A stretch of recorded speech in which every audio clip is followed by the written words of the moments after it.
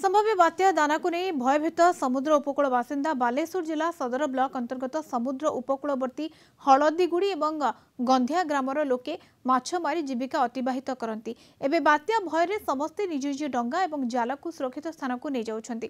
ଜିଲ୍ଲା ପ୍ରଶାସନ ପକ୍ଷରୁ ମତ୍ସ୍ୟଜୀବୀମାନଙ୍କୁ ସତର୍କ କରାଯାଉଛି। ମତ୍ସ୍ୟଜୀବୀଙ୍କୁ ସମୁଦ୍ର ଭିତରକୁ ନ ଯିବା ପାଇଁ ବାରଣ କରାଯାଇଛି। ଯେଉଁମାନେ ସମୁଦ୍ରରେ ଅଛନ୍ତି ସେମାନଙ୍କୁ କୂଳକୁ ଫେରିଆସିବା ପାଇଁ ନିର୍ଦ୍ଦେଶ ଦିଆଯାଇଛି। ଏନେଇ କିଛି ମତ୍ସ୍ୟଜୀବୀଙ୍କ ସହିତ ଅଧିକ ଆଲୋଚନା କରିଛନ୍ତି ଆମ ଜଳେଶ୍ୱର ରିପୋର୍ଟର ରାଧା ଗୋବିନ୍ଦ ଦାସ। ସମ୍ଭାବ୍ୟ ବାତ୍ୟାକୁ ନେଇକି ସମୁଦ୍ର ଉପକୂଳବର୍ତ୍ତୀ ଲୋକମାନଙ୍କ ମଧ୍ୟରେ ଛନକା ପଶିଛି।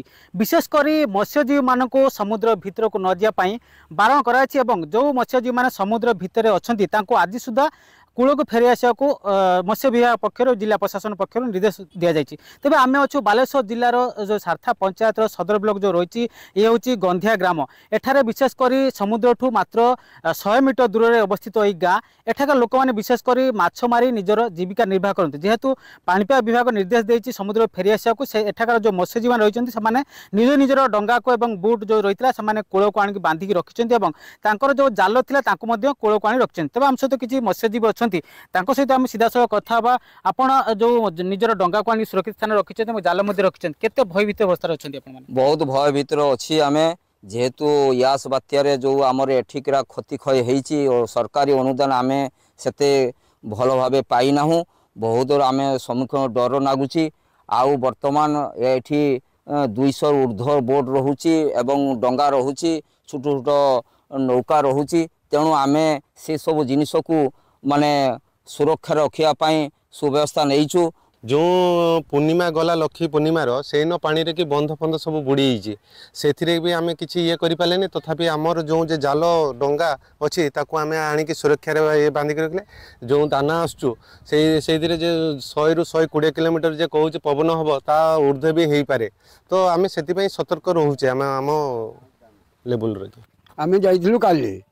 ଆଉ ଦେଖିଲେ ଯେ ଭୟ ଆସିଲା ଆମେ ଆମ ଘରକୁ ଡଙ୍ଗା ବାନ୍ଧିକି ଫେରି ହେଉଛୁ। ହୁଁ।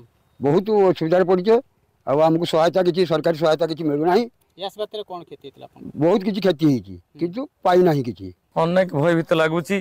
ବିଗତ ଦିନର ଯେଉଁ ବାତ୍ୟା ଯାଇଛି ହୁଡ଼ ହୁଡ଼ ଫନି ଆମ୍ଫାନ ଏଇଭଳି ଗ୍ୟାସ୍ ଏଇ ବାତ୍ୟାରେ ଆମର ଘର ଦ୍ୱାର ଅବସ୍ଥା ନାହିଁ।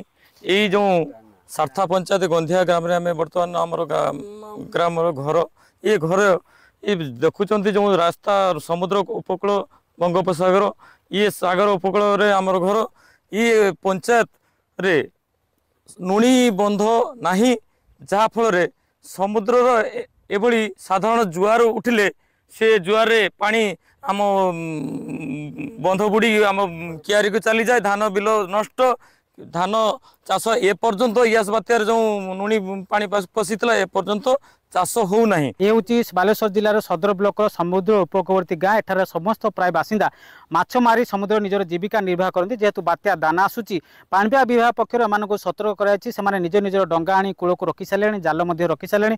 ତେବେ ବାତ୍ୟା କେତେ ମାତ୍ରାରେ ହେବ ତାକୁ ନେଇକି ଏ ଅଞ୍ଚଳ ଲୋକମାନେ ଭୟଭୀତ ଅବସ୍ଥାରେ ଅଛନ୍ତି। ବାଲେଶ୍ୱର ଜିଲ୍ଲା ହଳଦୀଗୁଡ଼ିରୁ ରାଧାଗୋବିନ୍ଦ ଦାସ କଳିଙ୍ଗ ଟିଭି